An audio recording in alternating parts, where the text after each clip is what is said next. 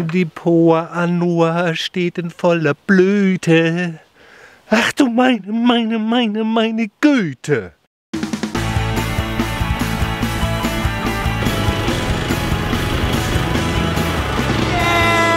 Da.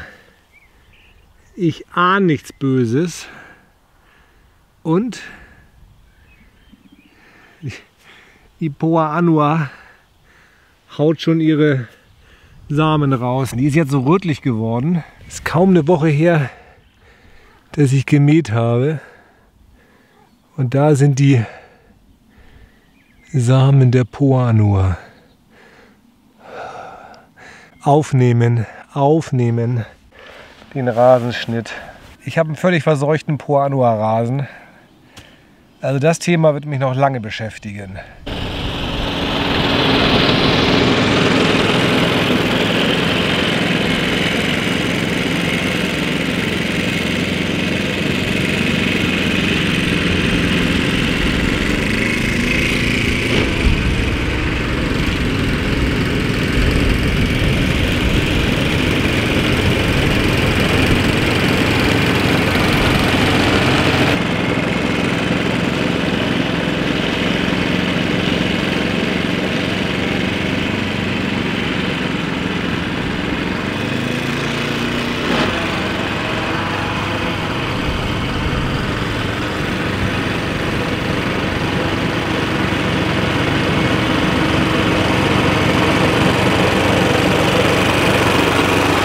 Ja, Flix, ihr fragt mich immer, was sollt ihr für einen Rasensamen nehmen?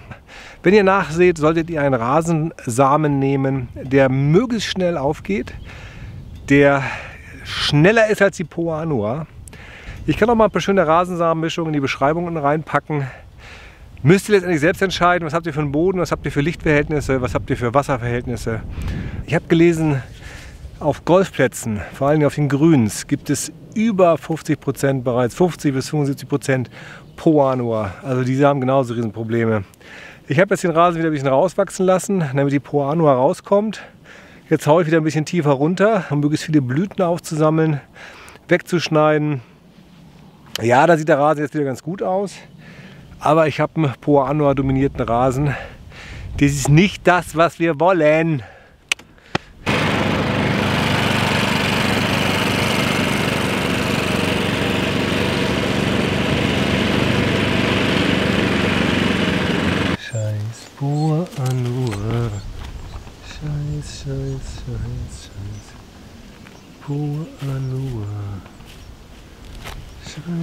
signs, signs, signs. Forward and over.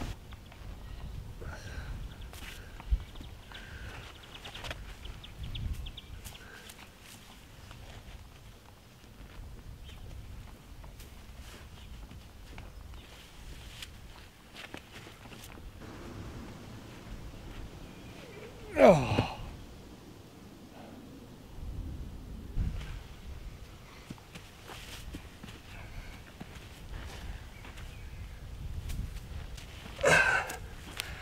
Das wird nichts. Ich stehe hier vor meinem Durchbruch, ein Video, das ich vor längerer Zeit mal hochgeladen habe. Ich habe viel zu früh Rasensamen gesät. Ich konnte es wieder nicht abwarten. Das ist das Ergebnis. Ein spitteliger, überhaupt nicht dichter Rasen, eine spittelige Nachsaat, die noch nicht richtig hochgekommen ist. Aber was hier wie blöde wächst, ist die Poa Annua. Es ist unfassbar, wie viel Poa Annua ich schon aus dieser Fläche rausgezupft habe. Und ich möchte es jetzt endlich mal hinkriegen. Ich möchte mal versuchen, diese Fläche Poa Annua freizuhalten. Und wenn ich hier zehnmal nachsehe und ob wir das schaffen, kriegen wir diese Fläche Poa Annua frei. Das ist alles Poa Annua.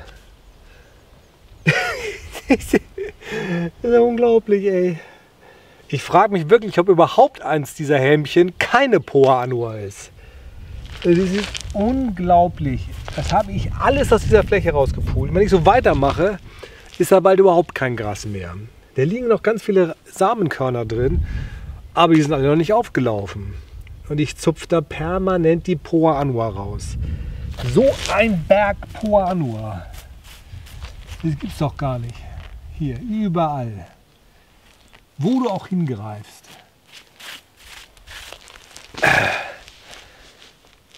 Ja, ich habe mir schon überlegt, also in meiner großen Rasenfläche, ich werde mich noch mal richtig schlau lesen, wie kann man die Poa Annua kultivieren? Wir drehen jetzt den Spieß mal um.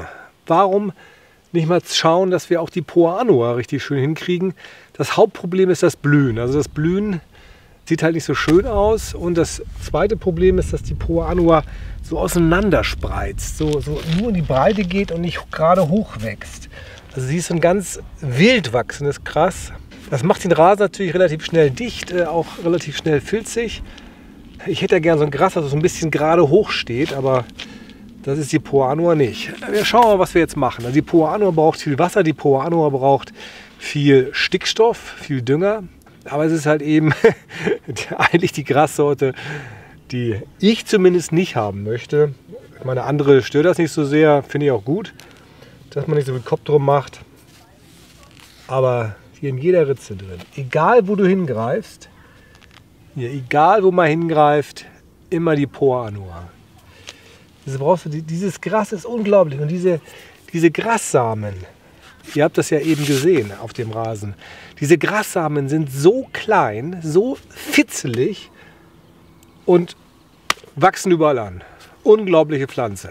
Ja, Freaks, das soweit zur Poa Anua. Das soweit zu dem blühenden Rasen des Rasenfreaks. Danke fürs Zuschauen, bleibt dran, bis zum nächsten Mal.